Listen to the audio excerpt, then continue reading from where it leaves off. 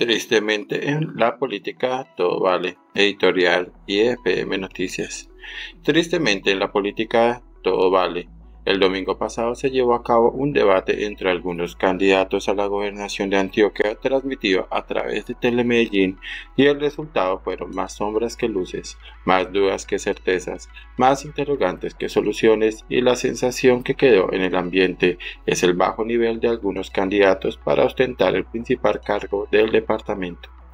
El debate transcurrió en medio de críticas, señalamientos, de tratar de demostrar cuál era el más corrupto que el otro, cuál tenía más rabo de paja, cuál tenía peor jefe político, en una confrontación nivelada por lo bajo, sin reales propuestas de campaña y más bien enfocados a atacar a la persona, a la gestión que realizaron y al pasado que los acompaña.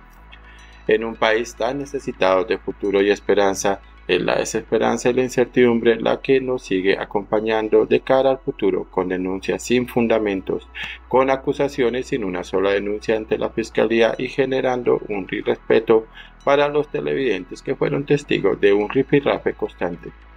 Preocupa el nivel de la contienda, preocupa que para hablar bien de ellos tengan que hablar mal del otro, confundiendo al electorado y creando un manto de duda general en donde todos los candidatos son malos y corruptos. Antioquia necesita propuestas, ideas para salir adelante, líderes, una palabra tan grande y tan bien llevada en el pasado, pero nos volvimos cositeros, preocupados por minucias personales, por cosas sin valor, cuando lo realmente importante pasa de agache en los programas de gobierno. Antioquia se ha caracterizado por tener buenos líderes, por contar con personas que tienen visión, por sumar personas a una serie de proyectos que nos tienen como uno de los departamentos líderes de Colombia.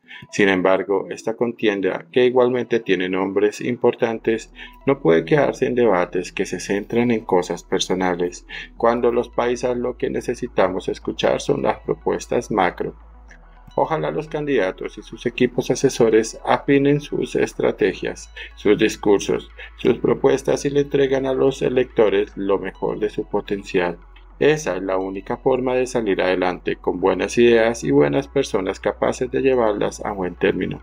Lo demás es loma.